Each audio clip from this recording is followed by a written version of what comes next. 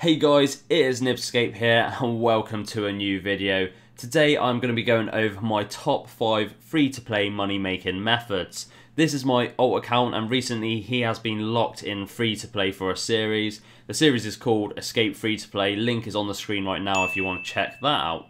Basically my alt account's membership ran out and I decided to make a series where each episode we would look at a different free to play money making method and then at the end work out exactly how much profit we made and how long it would take to get a bond. So I decided to round it up quite nicely now with a top 5 and work out exactly what the best money makers of free to play that I found were. Along with this, I'm also going to be adding links in the description to each one of these money making methods so you can have a little look and use it as a guide yourself. So anyway, let's jump straight into this top 5, starting with number 5, Ogress Warriors and Ogress Shamans. So to find the Ogresses, they are located in the relatively new area of the Corsair's Cove. There are a couple different dungeons, I go more detail about that in my guide. However, I will go over the profit per hour, and the profit per hour we made was 194k, which honestly for free to play is very, very good. However, there are some pros and cons which I will go over now.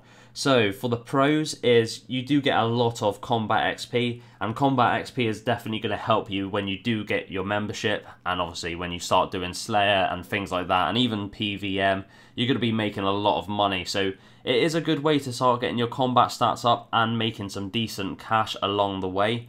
However there are some cons to go with this. So for the cons, unfortunately, there is relatively high requirements to do this very successfully. Obviously, to just do them anyway, you only need completion of the quest, the Corsair's Curse, which is really easy. However, this dungeon is highly populated and it's going to be very hard for you to get kills. The way around this is to complete the quest Dragon Slayer, which is definitely a harder quest to do. You're going to need relatively decent combat stats along with a lot of quest points and some other quests completed. However, this is definitely 100% worth it because the cave you get access to with this is a lot better and is, is what I used in the video. And yeah, 194k is very, very good. So uh, not bad for the first moneymaker. In number 4, we have collecting nature runes. So to collect nature runes, you do have to venture out into the wildy. So this is a high risk but high reward. In the hour, we made a total of 198k, which honestly is very, very good for free to play. However, as I have said, it is in the wildy, so there is a lot of risk. So we're going to go over the pros first. So pro-wise, obviously you are going to be getting quite a bit of magic experience. We will be constantly casting telekinetic grab, and the XP rates aren't too bad to be honest. So obviously with that in mind, you're also going to be making a lot of money. This is very, very good money per hour. However, it can vary ever so slightly depending on how many PKs you come across. If you come across quite a few PKs, you're not going to be getting nowhere near as much money as I did. However, there is a chance you could come across none for an hour, and you're going to be making a lot more money than I did. I came across about three or four, I believe, in the video. It's been a while since I shot that now.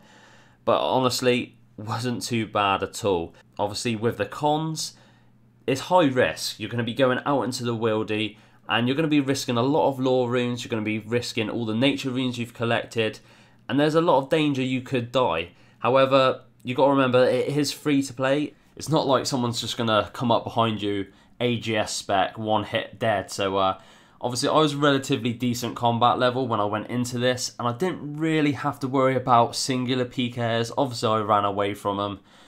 It is multi-combat, so you would have to worry about groups, especially clans. However, they ain't going to be doing major damage on you, so you could still easily escape. And overall, I know it is high risk, but 100% worth the money in my opinion. As long as you don't take too many laws with you either, you're not going to be risking too much in the terms of things anyway. So I do still highly recommend this method.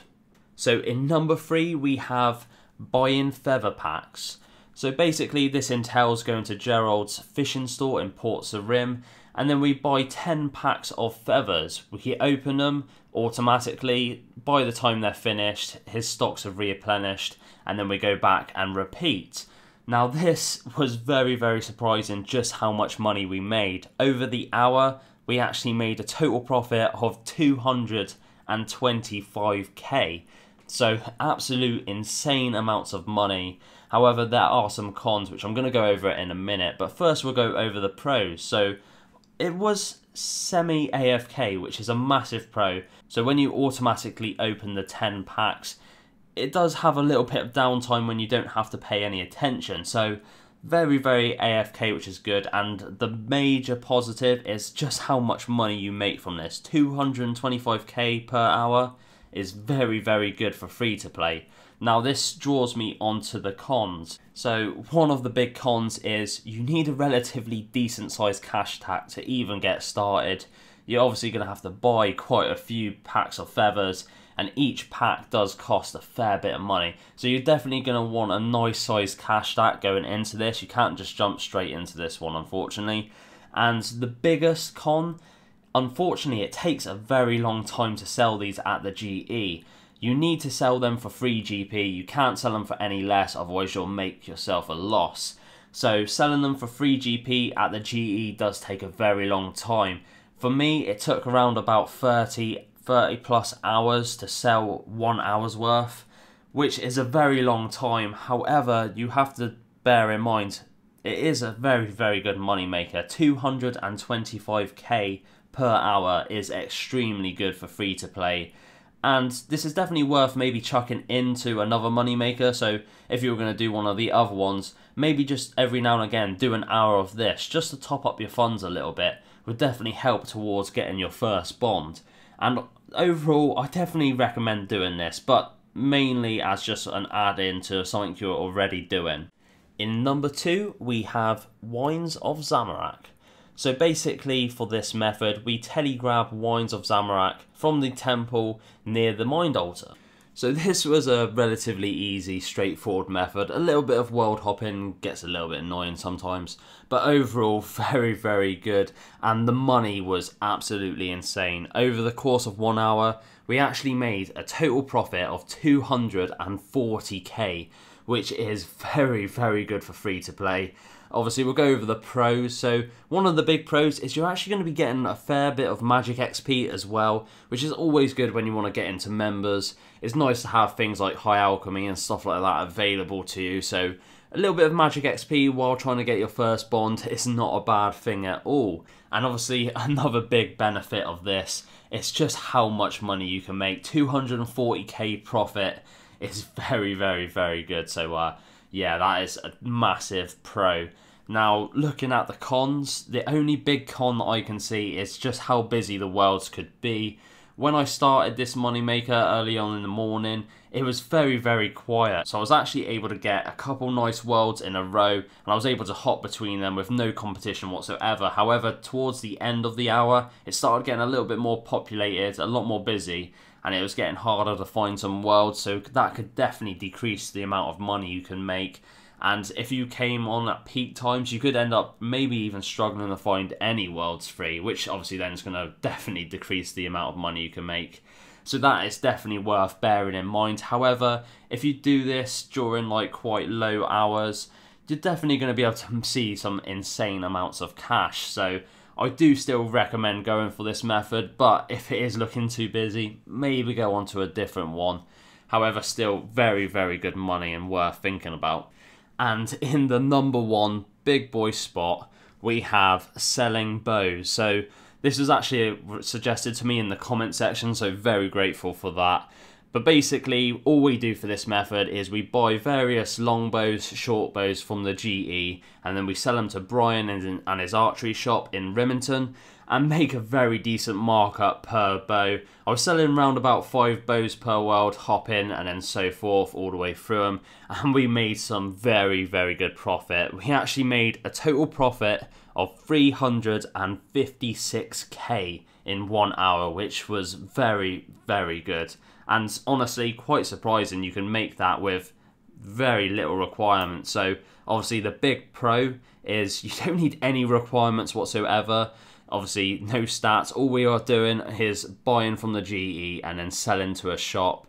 So, yeah, extremely impressed with this money making method. And obviously, the big benefit of this is just how much money we can make because the money was absolutely insane. But then that draws us on to the cons. And now the only real big con with this is you need a lot of money to start this method. I would suggest around about 800k really to do this properly for an hour. And that is a lot of money to come across, but it's 100% worth it. When you have the money, you're going to be making some very, very good cash per hour, and you're going to make it all back relatively fast anyway, so it doesn't matter too much. And then the only other con, kind of a con, is that you don't get any XP, like so you don't get any magic or combat XP with a lot of the other ones. You are getting a little bit, so it is good money though, which probably makes up for that fact.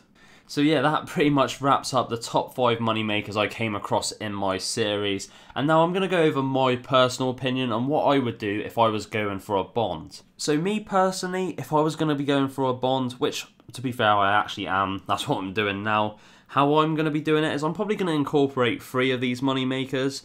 The first one being the Ogre Shamans. That's the main one I would probably focus on. Obviously, you're getting a lot of combat stats, which is going to help you when you get into members anyway. And the money is still really, really good. So I can't really complain with that. Alongside of that, I'd also be doing the feathers, collecting the feather packs maybe doing like an hour every other day and then selling the feathers just as like a little bit of a side earner. That doesn't take too much time.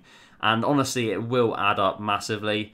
And probably when I get down to the last one to two mil to go to get my final bond, I'd probably just switch to selling bows because honestly, it won't take that long three, four hours and you'll be there with your first bond, and then you can get into membership. And that's when the real fun begins when you got to start sustaining that bond. And well which is relatively easy because as soon as you hit membership there's so many money makers available that you're going to be easily sustainable and you're going to be making tons of money and then progressing your account massively. So yeah that pretty much wraps up this video. I hope you guys enjoyed. If you did don't forget to like comment and subscribe because it helps the channel out massively and as always i hope you guys have a great day and I'll see you next time. Peace out.